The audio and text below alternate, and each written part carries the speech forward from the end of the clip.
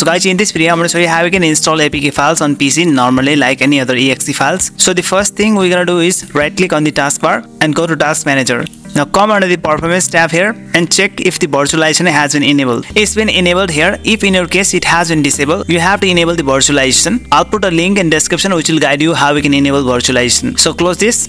Now the next thing that you're gonna do is go to search box and type in here Windows features. Go to turn Windows features on and off. We're gonna find an option here virtual machine platform and you're gonna make sure that is ticked here. And click on ok and then what you're gonna do is just restart your pc restart. I have already done that so let's proceed further.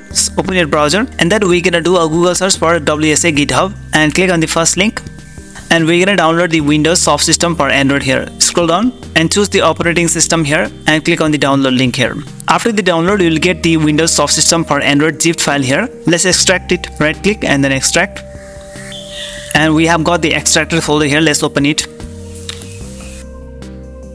And then we're gonna find this run windows batch file this one and double click to launch it. It will open up windows powershell and begin the installation. Just wait for the installation process to complete.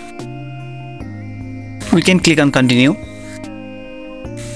you can sign in and you can install any Google Play apps just like this. But I'm going to show you how we can install APK files directly. Go to browser once again and then we can do a Google search for WSA Pacman GitHub. WSA Pacman's GitHub and click on the first link. Scroll down, click on latest releases and click on the exe version.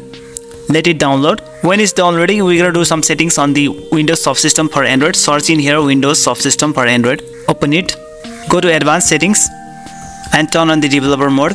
Okay, let's minimize. Now go to downloads and click on the downloaded install file that is WSA Pacman and run it and let the installation begin and finish it. Now minimize now we're gonna launch the WSA Pacman and allow the ADB debugging. We can click on always allow and allow.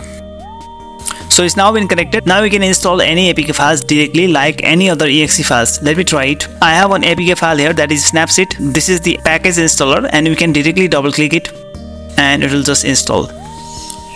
You can also create desktop shortcut and dismiss. Now we have Snapseed and we can directly launch and use it like the Android phone. So that's why how we can install APK files on PC. If you like this video then just give a thumbs up and don't forget to subscribe my channel. Okay bye.